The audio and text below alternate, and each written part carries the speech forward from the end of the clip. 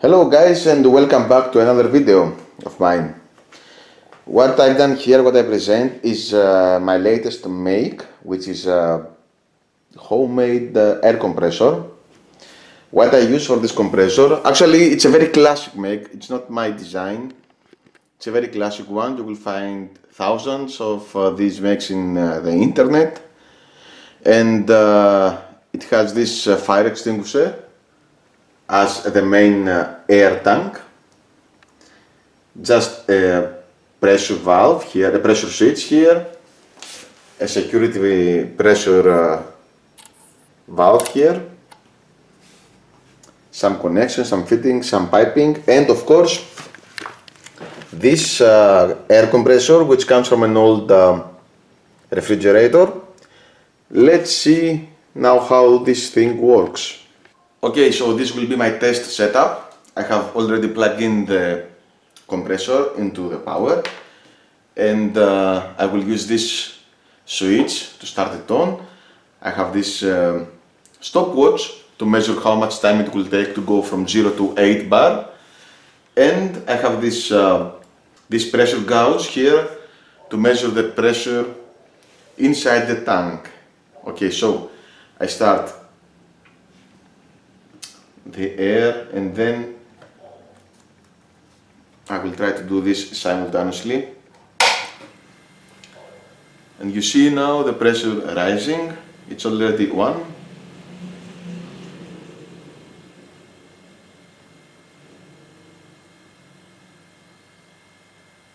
Two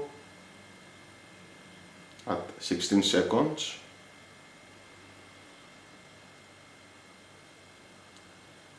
it's 3 at 25 seconds. And this works very well actually. 4 at 36 seconds.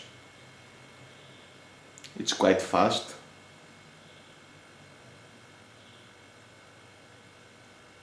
Five at 48 seconds. Well, five to eight is the pressure that I need to operate my next project. 6 at 1 minute.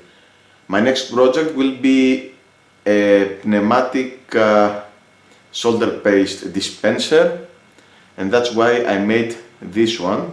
It's 7 at 1 minute and 12 seconds. Now it goes to 8 and the pressure switch should stop somewhere there. It's 8 at 1 minute and 25 seconds.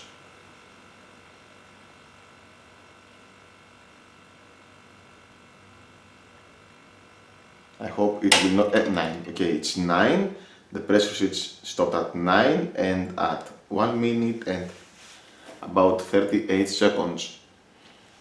Now I will uh, use this valve to reduce the pressure inside we don't need this one anymore.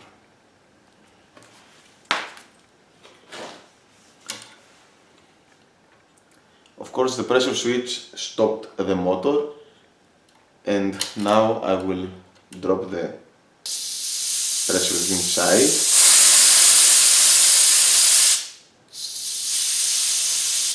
When the pressure goes below 6 the motor should start again.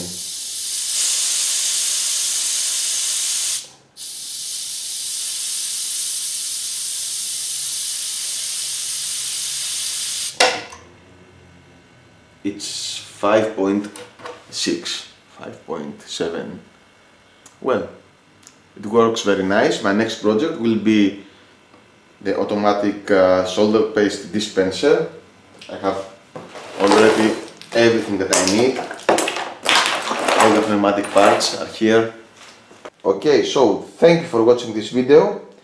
As always, you can find the complete documentation of how I made this uh, compressor in my website you can follow the link in the info of this video. Also, you can subscribe to my RSS feed to stay tuned, or you can like on Facebook and follow on Twitter. And as always, be creative.